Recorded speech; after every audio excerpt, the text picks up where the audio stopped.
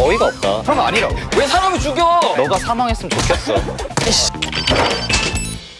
지금은 소녀시대! 안녕하세요, 소녀입니다. 소녀시대, 소녀시대. 써니의 아기 사자가 되고 싶은 남자, 26살 차동준입니다. 활력소 써니에 치여서 소녀시대에 입덕하게 된 26살 김교준입니다. 반갑습니다.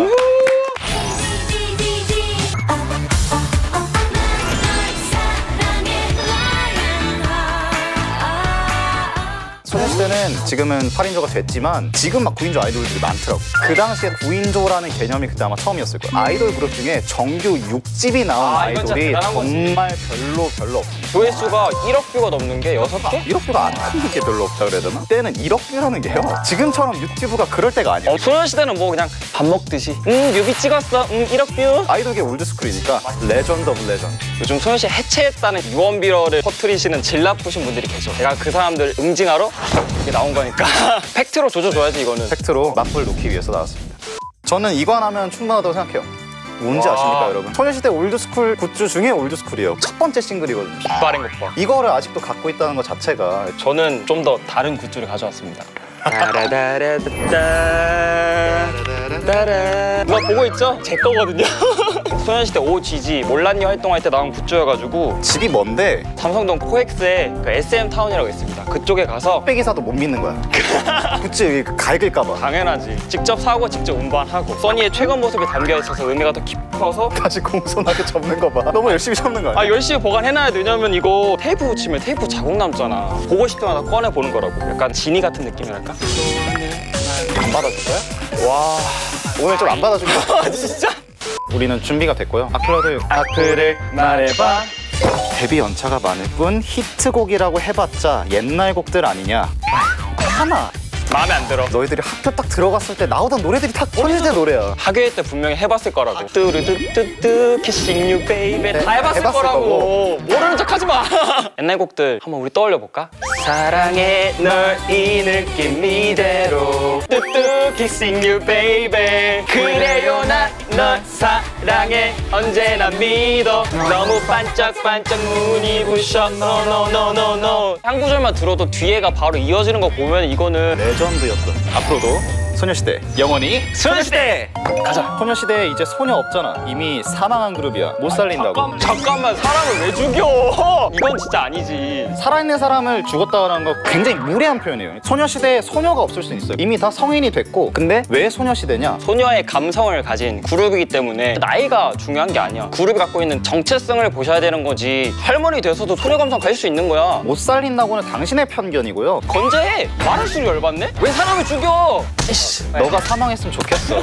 너가 못 살았으면 좋겠어. 이게 제일 기분 나빠 세게 때리는 것보다. 알나?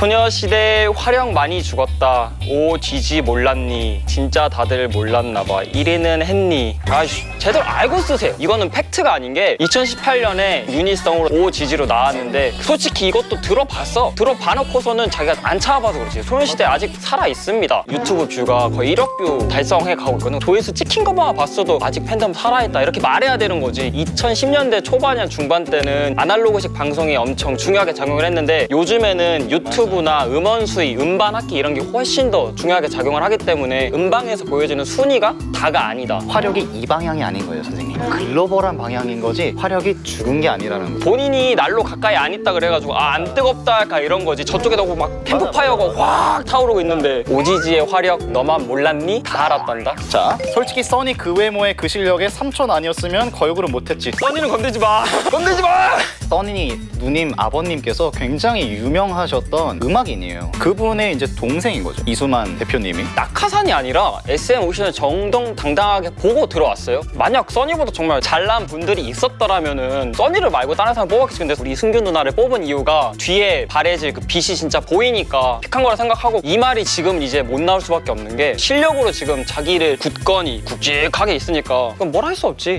13년 동안 legend of legend가 될 수 있었다는 과연 이거 이수만 선생님의 나쁜 판단이었을까? 최적의 판단이었을까요? 자꾸 외모 얘기를 하시는데 제발 거울 좀 보세요. 얼굴도 보고 잘 생각해봤으면 좋겠다 임마.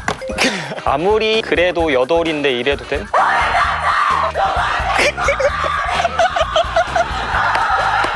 이렇게 할 수 있기 때문에 지금 연기를 연기를 할 수 있는 진짜 거야. 잘하는 거지. 왜 이래도 되냐니 이렇게 할 수 있는 게 대단한 거지. 본인이 모신데 여돌의 테두리를 한정시키세요. 당신이 뭔데 여도를 프레이밍해? 그러니까 네가 뭐야? 누구세요? 그리고 연기 너무 많이 늘었어. 여기서부터 싹이 보인 거지 뭐. 아무나 못합니다. 태연 이번 신곡 나만 별론가 하긴 솔로곡은 항상 별로였던 것 같습니다. 벌써 이거 나온 지 얼마 안 됐거든요. 근데 1107만 9,224회. 남들이 좋아하니까 괜히 어, 반동심이 괜히. 생겨가지고 안 좋아하고 싶어. 그래야 내가 쿨한 거야. 이렇게 생각하실 수 있는데 풀몽둥이로 진짜 씨, 말도 안 되는 소리 하고 있어. 이 선생님 잠깐 기다려. Cool. Wow. 눈 왔니? 아 지금 거의 4계절이지. 아. 나 겨울로 간거 같아. 너무 시원해. 뛰어난 솔로곡이 너무 많아요. 베토벤 바이러스.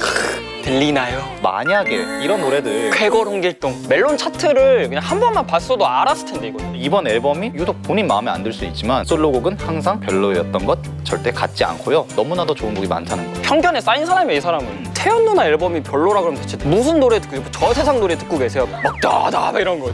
티파니, 수영, 서연이 SM 떠났는데 소시해체는 아니라니 술은 마셨는데 음주운전은 아니다랑 뭐가 다른데 대체 그냥 인정해라 끝났다는 걸. 아니 비유 자체가 좀 그렇잖아. 씨, 짜증나게. 자 참아. 참아. 해체 아니고요. 소속사가 바뀌었을 뿐이지 소녀시대라는 그 정체성으로 8명씩은 꽁꽁 묶여있기 때문에 생각지도 마세요. 계약이 종료된 사람들이 어디로 갔냐? 티파니 계약 만료돼서 미국 활동하고 있고 수영 누나는 에코글로벌이라는 갔지. 데서 이제 개인 활동 중심으로 하기 위해 나갔고 나는 나무 액터스 쪽으로 가가지고 연기 활동 중심으로 하기 때문에 성향이 다른 자기랑 더 잘 맞는 곳들이랑 새롭게 계약을 했다. 사실 소원들도 SM 떠났다고 해서 아쉬운 부분들 확실히 있죠. 근데 그런 부분들이 있긴 하지만 진짜 팬이라면은 각 자의 갈 수 있는 그런 꽃길을 응원해 주는 게 진짜 그치. 팬이라고 생각하기 때문에 이런 걸 다른 거 솔직히 타격은 없어요. 기회가 되면 앞으로도 응원을 할 거고 앞으로도 좋아할 거다. 우리는 영원히 소녀시대. 저는 짧고 굵게 사행시를 준비해왔습니다. 이거면은 끝장납니다. 운 띄워줘라. 소, 소녀시대는 여전히 여, 여자 아이돌 그룹 중에서 시, 시간이 아무리 지나도 배. 대체 불가능한 걸그룹이다. 지금은 소녀시대! 앞으로 소녀시대! 영원히 소녀시대! 감사합니다. 소니씨 화이팅!